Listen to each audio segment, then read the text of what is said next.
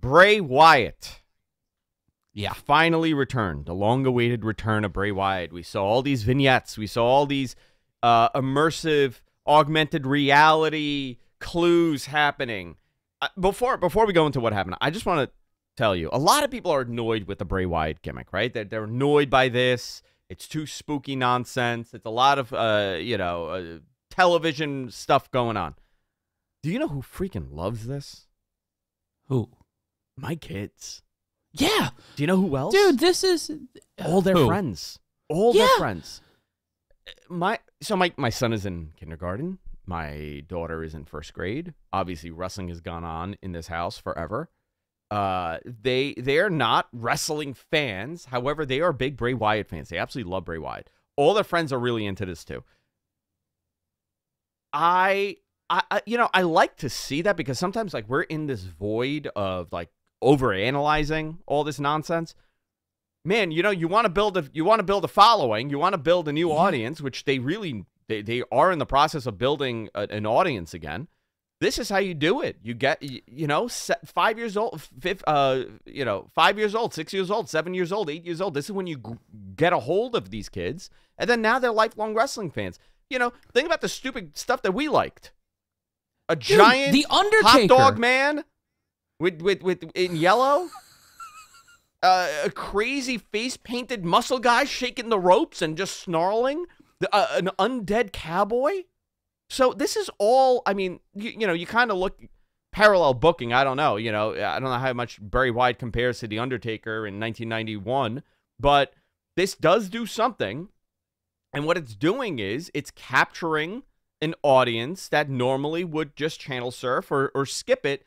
My daughter this morning went on YouTube in the living room and found it because she wanted to see what happened. That's the job. To sell tickets, to sell views, to get eyes.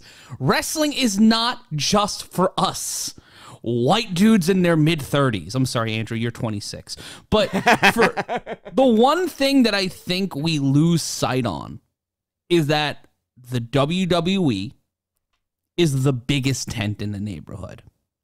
They're drawing, they're trying to get everybody in the tent. And speaking as a promoter, I can't, every match can't be what I want in wrestling. It No, can't listen, because I'm not. y- you want I'm my- not selling you- tickets to me. I'm selling tickets to people. Like Listen, you're I'm you're not- finding an audience. I don't hide what I like, right? I, Yeah. like, okay, this is I mean, uh, this is fine. Like, I get it. I totally get it. Is this my wrestling? No, my, you know, I I generally like wrestling. So AEW uh, at times appeals way more to me than WWE, but it doesn't matter. At the end of the day, you got you got to fill in the blanks here, and you got to you got to grow an audience, and you got to try different things, and they're doing something different here. So after the fight pit match, the lights go out. Michael Cole does his uh, wonderful. By the way, the the logo show ending has finally arrived on the main roster. I was gonna. That is the most valuable signing from NXT. That that the the sign the sign off logo at the end. The most Triple H valuable hold, player. shaking. They're doing the Triple H photo with the Chyron guy. the Chyron, yeah. Triple H. Someone needs to do that. A Triple H shake photo, but it's just the Chyron that says, you know, WWE, you know, the, the, the copyright 2022. Uh, they do they do the sign off. Michael Cole does his best. We're off the air, right? There's nothing happening here, and you hear Bray's voice. He's singing, "I got the whole world in my hands." Then they do a spotlight. The puppets have come alive. Abby the witch, uh, Huskus the pig, Mercy the buzzard. Mercy the buzzard, uh, uh, uh, Clarence the bunny, No, uh, no. uh, James the marsupial, Sally the snail, Griffin the giraffe, Rodrigo the badger. Rodrigo the badger. So they all show up, right? The live puppets show up. They show an image of the funhouse, the Firefly Funhouse, and it's like the upside down. Great timing, by the way, with Halloween and and, and the Mhm. Stranger Things stuff and the the uh, augmented reality game that they did. Very much tied into modernization of, I guess, you know, spookiness. And I thought, by the way, I thought that they did a great job, top to bottom. This was the the the the most um, contuit, I guess, Contuitive? No. Um, Yeah, intuitive. contuitive. That works. uh, uh, a process that they've had when, when it comes to like a v- reveal, right? The Jericho, the Save Us Y2J thing. This was Yeah. it on steroids, and they did a great job. Here comes, you you see the Firefly Funhouse. The the, the puppets are dead. You know they're covered in cobwebs, and there's a door at the entrance, and the door opens, and here comes Bray in his in a new mask, and he takes the mask off and he says something. I forgot what he said, and he blows out the candle. And then they was, do the uh, beep, we're bop, here. bop, bop, bop. They do that crazy thing, and his logo's Yeah. upside down. This is his logo. Ready? Right? Isn't that the logo?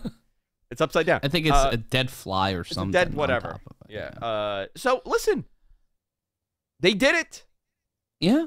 It was over like crazy in Philadelphia. That crowd ate it up.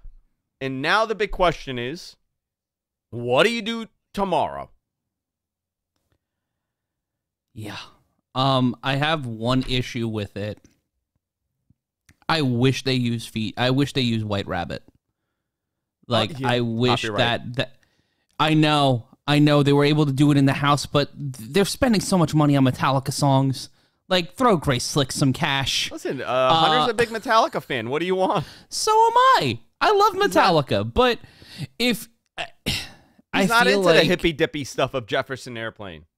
Ah, all right. Well, maybe maybe it's because they maybe because their star people at Jefferson Starship are fans Jefferson, of, Jefferson of AEW Starship. There you go. because what did I say? because Jefferson they Airplane. gave AEW the right. No, no, no. It's, they were five different band names. We don't need to go into the etymology Okay. of Jefferson Airplane Starship, what have you.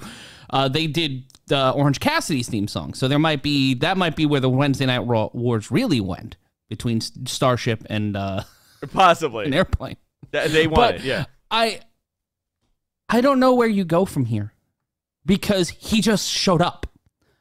That was the thing I was thinking about heading into this pay-per-view is he's going to come out in the last segment, but it's not going to be Seth. Can't be Riddle. Who the hell is he going to feud with? Who the hell is he going to feud with?